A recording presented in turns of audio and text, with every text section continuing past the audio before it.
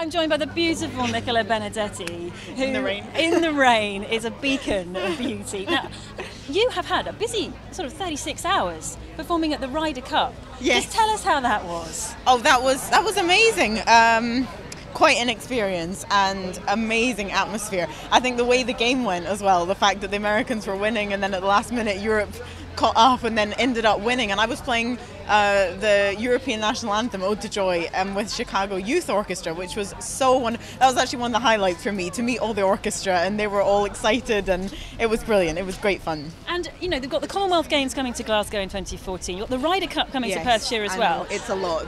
This is a fantastic sort of next couple of years for sport in Scotland as well as music and culture. for everything in Scotland the next couple of years is looking very very exciting and um, a, a big highlight will be will be in Scotland so um, I just hope that we can use it in all the right ways and that we can maximize that exposure and, and turn it into a, real longevity of focus on sport and culture and, and on the arts and that the, the sort of the funding keeps going from after 2014 that's what's going to be really important Because we well we know full well that you know you're very keen on making sure that young people get a- ahead in, in music. You're a real pioneer and advocate for that. Yes. I mean, how important are events like this in showing young people what you can achieve with hard work?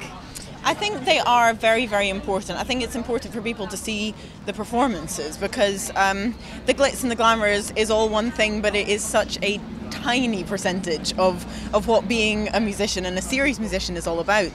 And that's um, I, yeah. So so I, I, I hope everyone's you know watching the performances and, and focusing on the music as much as possible. And you're performing this evening at the Yes, Classic yes. Brits. And how have you prepared for that today? How's your day panned out? Um, well, I, I, like you said, it's been a whirlwind couple of days. Um, but it's uh, we had rehearsals today. I was um, I've been put in this beautiful frock and um, I'm sort of shoved around from place to place, and I'm doing what I'm told. But it, it's um, it's all it's fun. But looking forward to performing, of course, because that's really your rest, isn't it? I suppose Yes. that's what you know best. Well, well, exactly. The, the moments just before you go on to perform, um, and and the actual performance, they're they're always always sometimes the most the most peaceful.